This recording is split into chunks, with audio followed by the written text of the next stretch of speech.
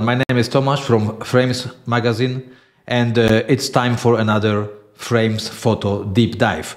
My today's guest will be Stephen Smith, and we will be talking about this photograph of his. I hope you will enjoy it.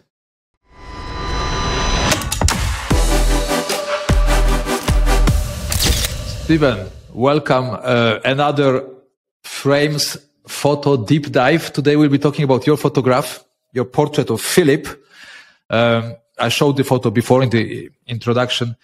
Before we dive into the photograph, uh, as usual, if you could share just a couple of, of words, you know, about yourself, your photography with our viewers. Some people will know you from the frames community already, but we can, we can have some, some new viewers on the channel. So okay. ju- just a couple of words. Um, yeah, I'm, uh, I've been a professional musician, conductor, church musician, um, concept presenter for the, for the last 40 years or so, uh, but was interested in photography as a, as a child and a teenager and uh, considered becoming a photographer at one time.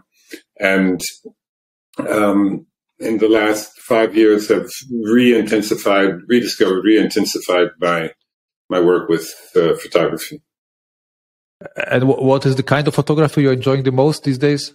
I um, I concentrate actually exclusively on analog photography with um, with mainly mid, uh, uh, middle format and large format cameras and black and white film photography. I can see some very interesting photographic equipment in the background, but we, we will get to we'll get to it later, maybe.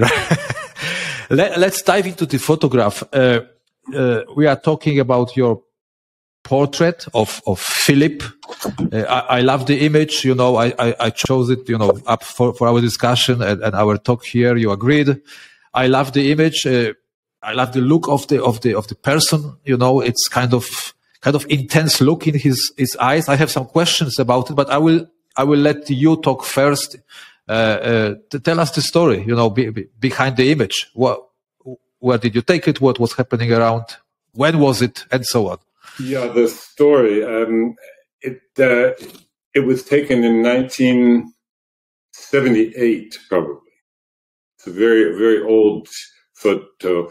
Uh, at that time, I had just finished studying um, music. I had a had a degree in music and had had decided to to attend a small private photography school for a year, um, and thought about becoming a photographer. So I was taking photographs of of anything that moved or didn't.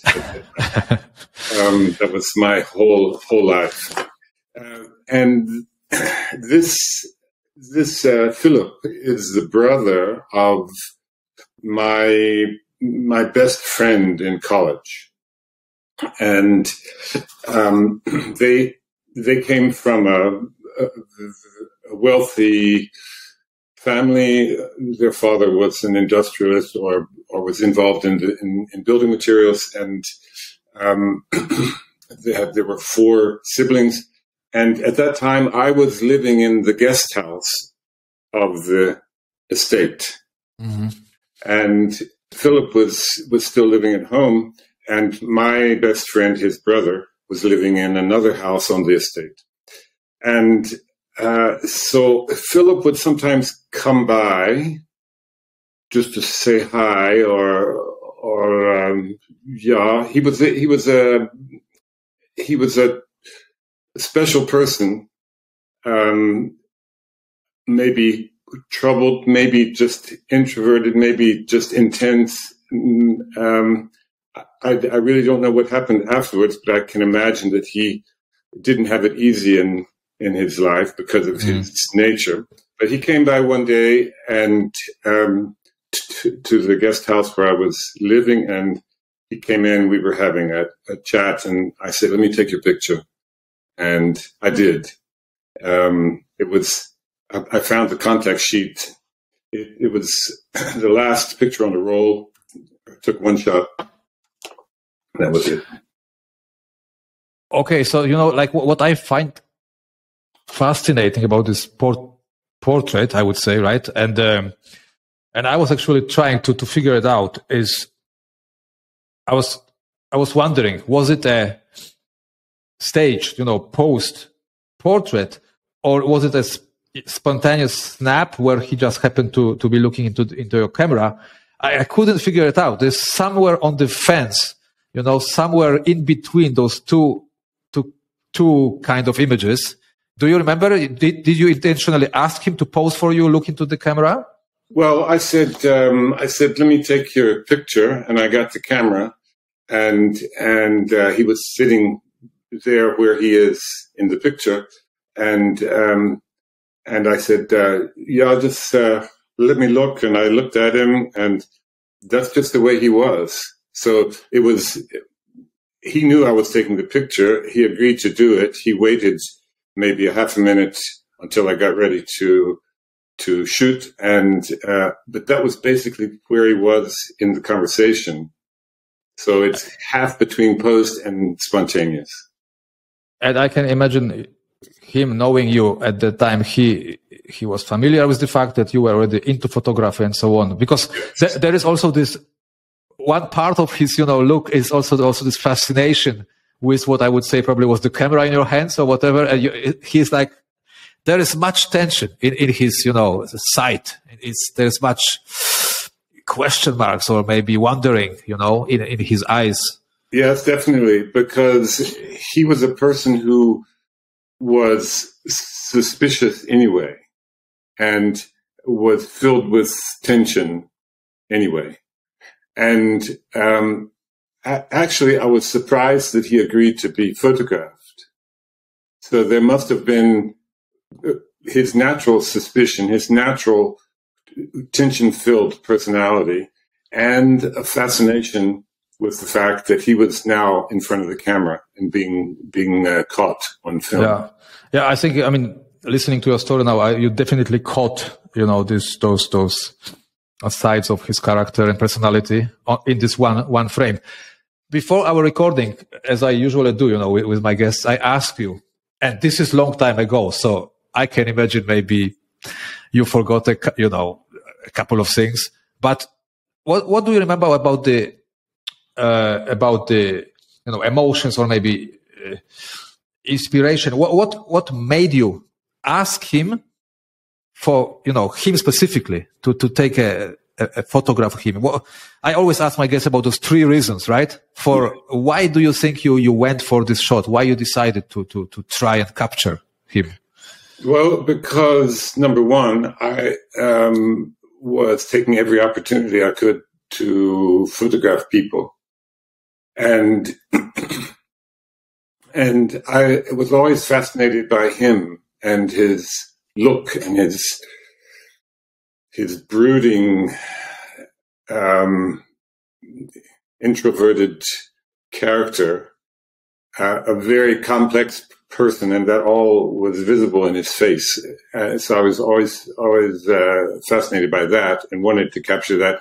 And that day, the light was was was beautiful hitting him, and it was just a, a moment, a moment where he was semi relaxed in in our presence, um, where a lot of elements came together.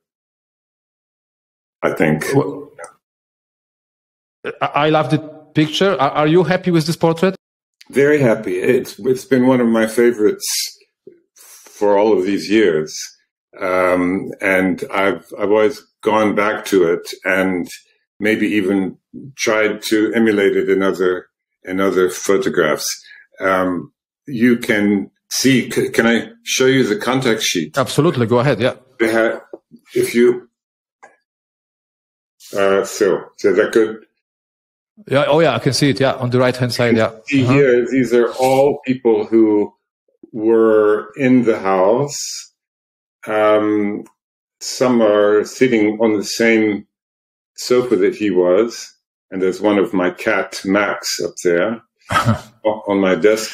But um, as you can see, the other the others were not really successful but but this one uh, was successful, and it, I think it had a lot to do, like I said, with the lighting, and also with just his person. when it comes to portraits, you know, in general, so we have the the character, you know, intensity of the look, you know, the face features of the person. Um, then we have the light, so you know all the technical considerations, exposure, and so on. Uh, what, what would which of those which of those elements would you say is the most important when when it comes to creating a, a, a strong, you know, captivating portrait? Um, I think, and, and, and I say this because in the last year I've been trying again to get to, uh, into portraiture and trying to discover the secret of it. And I haven't cracked it yet. Um, but I'm, I just, just yesterday, I, I was in the, in the darkroom this morning, actually making contact sheets of, of a session I had with two, two, uh, with, with three um, people in the last couple of days. And I, the more I do it, the more I think it has the most to do with the relationship that you can establish between yourself and the sitter. Um, because I look at some some uh, pictures I've made and I say, ah, did she not open up to me, or was is she a person who will not open up ever and always has a mask on? Um, it's always trying to get them to to drop their their PR mask and let uh, a, just a flash of their personality come through at the moment when you can click the shutter.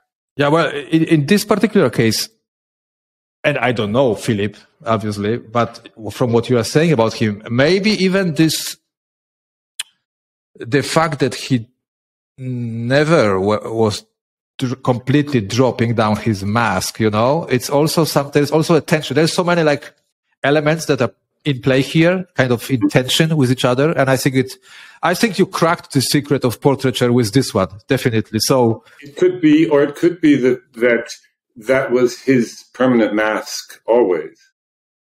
And, and, and even then, maybe I got a part of him that was real in that case. Yeah, definitely, definitely a, a, great shot. Last question. It was not this camera which is standing behind you that you used back then, right? No, actually, it's actually it was this one. I still use it. Uh, Yashica, Yashica D.